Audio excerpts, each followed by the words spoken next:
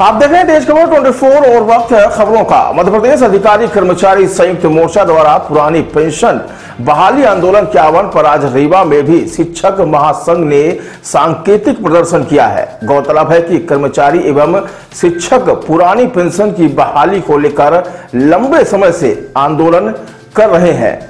हाल ही में राजस्थान एवं छत्तीसगढ़ सरकार द्वारा पुरानी पेंशन बहाल करने की मांग को लेकर मध्य प्रदेश अधिकारी कर्मचारी संयुक्त मोर्चा पुरानी पेंशन की मांग को लेकर भोपाल के कलिया सोत मैदान में एक दिवसीय धरना प्रदर्शन का आयोजन किया था, जिसने प्रदेश भर से कर्मचारी शिरकत करने वाले थे। लेकिन एंड वक्त पर एक दिन पहले ही सरकार ने भोपाल में कालिया सोत मैदान पर कार्यक्रम की अनुमति को निरस्त कर दिया।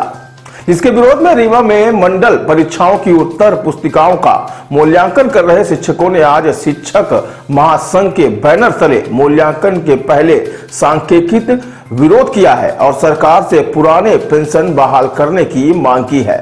रीवा के मारतंड उत्कृष्ट विद्यालय के गेट में मूल्यांकन पूर्व एकत्रित शिक्षकों ने नारेबाजी कर पुरानी पेंशन बहाली की मांग की।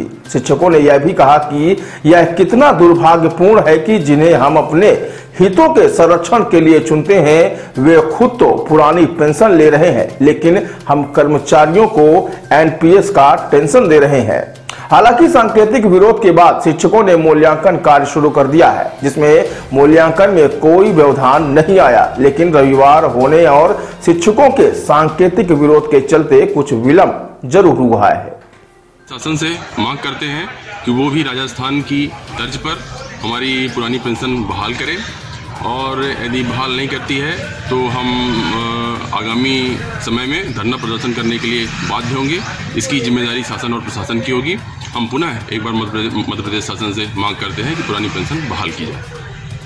मांग को लेकर संयुक्त मोर्चा द्वारा आज भोपाल के करिया शोध ग्राउंड में एक दिवसीय धरना प्रदर्शन का कार्यक्रम का आयोजन किया गया था, जिसकी अनुमति सरकार ने अचानक निरस्त कर दी।